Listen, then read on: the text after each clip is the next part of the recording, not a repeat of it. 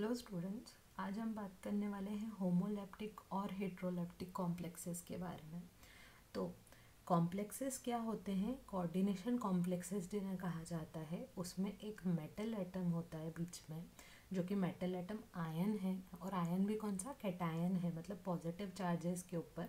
ठीक है, कितना पॉजिटिव चार्ज है? बाहर जो चार्ज है वो इसका है थ्री पॉजिटिव चार्ज है। ठीक है? इसको कुछ जो ग्रुप्स हैं वो क्या करेंगे? इलेक्ट्रॉन पेयर डोनेट करेंगे। एन थ्री ने इसको इलेक्ट्रॉन पेयर डोनेट करके रखे हैं कितने? हर एक एन थ्री के लिए दो इलेक्ट्रॉन्स मतलब एक पेयर डोनेट होता है और उसी को हम क्या बोलते हैं? कोऑर्डिनेशन बॉन्ड बोलते हैं, ठीक है? तो ऐसे छः एन एच थ्री हैं, इसीलिए बारह इलेक्ट्रॉन्स वॉल्ट के पास गए होंगे, ठीक है? अब यहाँ पर इसीलिए एन एच थ्री को हमने क्या बोला? डोनर बोला लिगैंड कहा जाता है जिसको। ठीक है? ये लिगेंड्स मोस्टली कैटायनिक या न्यूट्रल होते हैं मतलब पॉजिटिव चार्ज या आ, बिना चार्ज के होते हैं।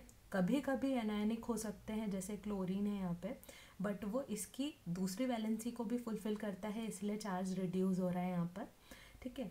अब ये डोनर अगर एक ही तरह के हों, जैसे सिर्फ़ एन एच थ्री है तो दिस इज़ कॉल्ड होमोलेप्टिक और जब ये अलग अलग तरह के हों, जैसे इसमें एन एच थ्री है, यहाँ पर सी एल है, ठीक है?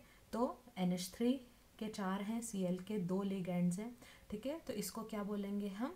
हिट्रोलैप्टिक टाइप ऑफ़ कॉम्प्लेक्स बोलेंगे।